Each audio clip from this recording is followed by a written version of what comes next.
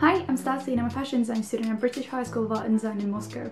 Since I don't really have much collection development footage ready, I thought today I'd show you 12 of my favourite British fashion designers. They are all London based and I deliberately chose the ones that are not as popular as say Matty Bovan, Simone Rocha or Richard Quinn. And they're all ranging from knitwear, menswear, women's wear, even accessories and shoes, so let's get into it.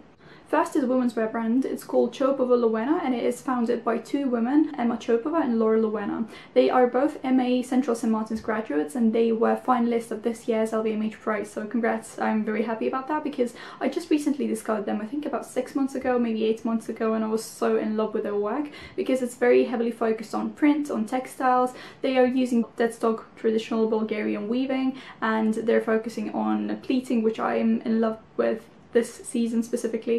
Um, also their work is always very puffy, very colourful, playing around with large silhouettes on the top and I just love the abundance of clashing materials so they're using a lot of different carabiners which are coming from Laura Lowena's background as a mountain climber and uh, the traditional Bulgarian weaving that they're using is coming from uh, Emma Chopova's background as a Bulgarian person so it's very interesting how they're all combining this all together and also one very interesting technique that they have adapted is traditional Turkish water marbling Traditionally this technique is used for tiles and they have adapted it for jeans so it's very interesting how they're adapting different craft techniques into their work and adding some other cultures into the mix which is very beautiful. I moved a little closer to the source of natural sunlight, hopefully that will be better.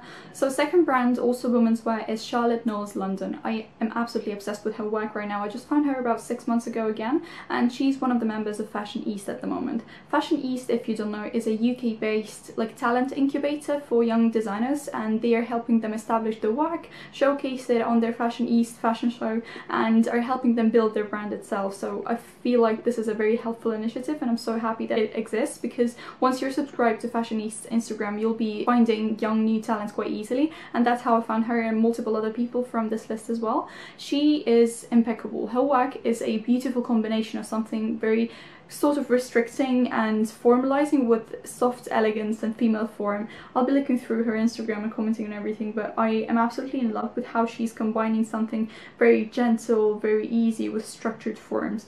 It is impeccable. I love her work and her twist on corsetry, how she's playing with prints and clashing prints together. So one of my favorite looks is this one where she is uh, combining the same print but in different textures and different materials and in layers. I'm absolutely obsessed with it. It's a beautiful, sexy, elegant with nothing vulgar about it at all and I just love how body conscious the design is. I feel like this is impeccably beautiful. This would layer on top of different things. She has a lot of different pieces, tops, dresses, bottoms, and they would all look amazing in anyone's wardrobe. So check her out definitely. Third, also women's wear brand, is Karoline Levitto. Hopefully I'm pronouncing this right, but I'm probably butchering all the names right now. She's also a London-based designer, but she's from Brazil originally, and she's focusing on embracing and even accentuating female forms rather than hiding them. She's a Royal College of Art graduate and is so beautifully represented representing how the female body is interacting with the material that she's using. She is quite often using organic shapes and silhouettes and combining metal detail work with uh, uh, jersey and elastic bands and the way she works the body is just impeccable. She is mostly working on the actual body rather than on the stand and even right now during quarantine she has been asking for just photos of women's bodies if they're interested to send them so you could send her your photos and she would be redrawing on top of those like she is for example in here. I absolutely love the way she is showing the body and again I absolutely don't think it's vulgar. I feel like it's embracing the body in such a beautiful way and as if she's working with a sculpture rather than actual clothing or anything else. So I think this is a beautiful combination of a designer's hand with the female body. I also think that through her work, if you were to own one of the pieces, you would feel way more confident and it is embracing the confidence of the female body. She, because she's originally from Brazil and the Brazilian beauty standards, as I read in her own words, an article from ID magazine, are quite Kim Kardashian-like. So tiny waist, large hips, and plastic surgery is quite common there. The designer herself, she's feeling quite the opposite of that. She's feeling like helping women embrace their body, love their body, and I feel like through her work, it is so evident and it's a very beautiful way of uh, representing the message. And that's why I feel fashion is so powerful because you can embed any idea, any message into your work, and if it is represented truly through your passion, through your heart, I feel like everyone is going to get it and it is going to help people feel empowered. So I feel like she's doing a great job at that. Next up is Nensi Dojaka or Doyoka, I don't know. Sometimes I just feel my Sloaning kicking in and I start reading like no English speaker, whatever. So let's say it's Nensi Dojoka. She is a MA CSM graduate from 2019 and she's also represented by Fashion East. And when I look through her work, the first word that comes to mind is gentle because the fabrics and the way she's manipulating them are so soft and light and airy, I would say. It's very beautiful, very layered sometimes and body conscious as well, like the previous brands were. It's quite revealing, but in a very innocent way, I would say. So if the previous works I said were not um, sexualized and not too revealing. I don't think this one either is sexualized. It feels so gentle because the fabric that she's using is transparent, I don't know what it is, organza maybe, um, and is manipulated on the body in a way that is complementing the female figure, but it is um, innovative in my opinion and sometimes sort of like collagey or uh, patchworky in a stretched out way and it is drawing your eye around across the body. You're not focusing on a specific area which typically would be if the female body was objectified focused on breasts or maybe lower part of the belly. You are traveling and your eye is sort of like reading a story when you look at her work because the way her fabric is folded to a specific area and then the folds are drooping to the other side it feels very dynamic and it's extremely beautiful. You might say that they're sexy because of the amount of skin that is on display but to me the sexiness is counterbalanced by the gathering and the layered multi-layered semi-transparent monochrome fabrics which ring gentle and soft rather than rough and exposed. Feel like it's a very mature cuteness and mature state of soft and gentle forms around the body so I would absolutely love to invest in some of her pieces. Now we're on to knitwear, so the next couple of brands are going to be knitwear related. The first one is Kepler or Keebler. It's a London-based brand making meaningful and mindful knitwear. It was founded by two CSM graduates, Alexandra and Jamie, whose surnames I'm not even going to try to butcher, and they are designing knitwear with a hands-on approach. Their work is very sculptural, some of the dresses are sculptural and engineered even. Sheer tops and intricate cutouts.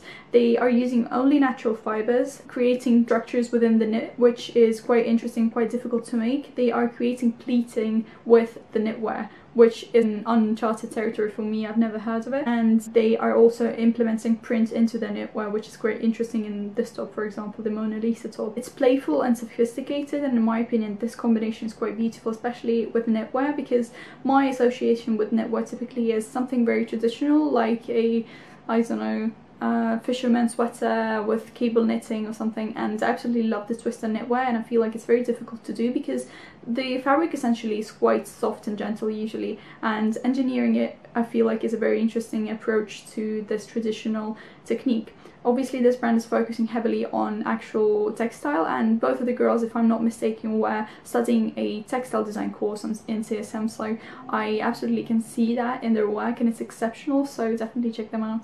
Number six is Katharina Dubbick. She's a Royal College of Art graduate in knitwear and I absolutely love her work because it's so beautiful how she contrasts different textures. Something very strong, plaster-like almost. She is contrasting with very gentle and very light, almost transparent and airy knitwear. The combination of the two textures is extremely beautiful. I love how she is implementing some sheer paneling into something opaque and uh, the color palette especially with this combination of textures is extremely beautiful. So she's using something very pastel, very soft, very gentle in contrast with the bright red or black or dark dark brown which again it's very beautiful and body conscious and the way it is manipulating around the body with those plaster I can't even say if it's plaster I don't think so. They look like they're sort of silicone made but don't think that's the case because they are holding the shape pretty beautifully. Maybe that is like a soaked fabric in silicone or something, but it's absolutely amazing. It is quite beautiful, especially her photo shoots as well, because they are next to a plaster cast, next to a sculpture, which is very appropriate for the photo shoot in my opinion, especially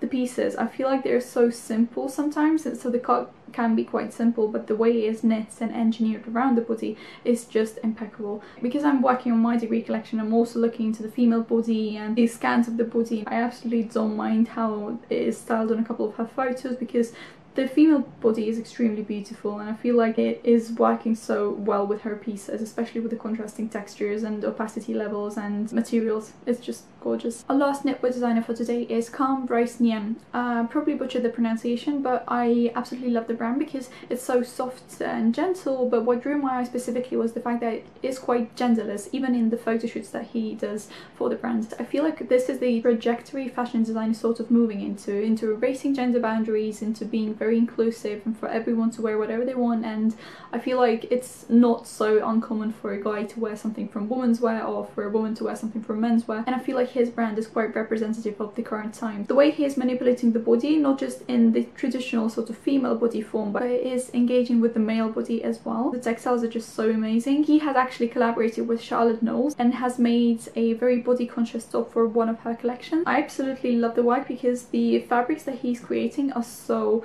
transparent and especially on a male body it looks a little bit more interesting because transparent textiles are usually not very welcome in traditional menswear because they are seen as a little bit too girly, too feminine, too gentle. And I absolutely love this contrast of traditionally seen as a very like a strong male body with something very gentle and very soft. But the fabric that I'm mostly drawn to is this beautiful top with as if the pieces of fabric were worn down. So some of the areas are again less opaque than the others. It's engaging with the arms and with the body and it's showing it in a very beautiful way which is not so traditional. I love how you can see this little nip slip for a guy in this top and I feel like it's extremely beautiful.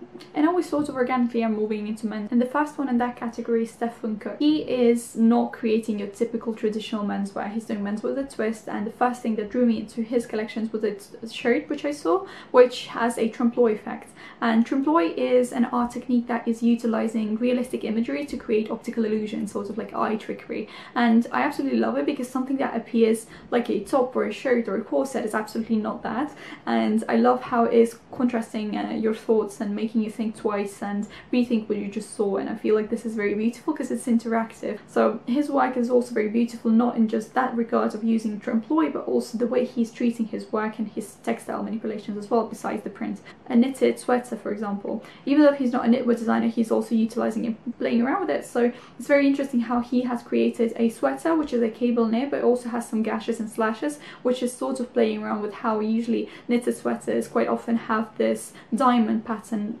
knitted into them, which is quite amazing. I feel like I absolutely love what things do not look what they are supposed to look like, and I feel like this is very beautiful. He's also introducing a lot of uh, technological developments into the textiles, into the way he's working. I am not exactly sure what this technique is, but he's sort of burning some specific uh, prints of lace, which I believe were scanned and distorted on a scanner before he created the print but it's very interesting how technological development implemented into fashion design can result in something very beautiful and unexpected and never seen before. So I highly suggest you check him out. He is also represented by Fashion East. I think last year but don't quote me that it might be this year I love how he's subverting classics, introducing new technologies in textiles, and I feel like he is moving fashion forward. Next up is Richard Malone. He is also a CSM graduate who also won a Woolmark Prize recently. He's focused on sustainable sourcing, fair trade labour, craft and recycling, which I appreciate deeply because that is super important in the 21st century in the fashion world in general. He is recycling fishing net, recycling acrylics, using bright colourful pieces in his collection and layering colourful pieces.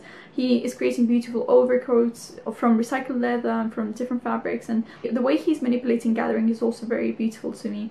And I wanted to just know for someone who is interested in creative fashion but doesn't really know how to play around with it if you see some pieces in the wrong way and they might look a little bit too extra just try to break them down into layers and what they are actually consisting of because some of the pieces in collections in general are quite layered and quite out there and extra. But if you break them down take a very beautiful let's say sculptural sweater and if you look at this middle look. It's essentially one sweater with a different sweater over top if I'm not mistaken. Then a pair of trousers with either a skirt attached to them or separately. But if you take that top sweater for example, if you put wear it with let's say black turtleneck underneath or with nothing underneath and then a pair of jeans, it's quite a simple look with a beautiful show-stopping sweater on the top. So if you break them down, if you choose pieces that you like, I feel like it's going to be beautiful and I feel like his collection and his work in general is very great at that. And I absolutely love his ginormous gathered jersey, if I'm not mistaken, of silk. It was just presented on the 14th of February and I love how the pieces are performing. Obviously that is not your typical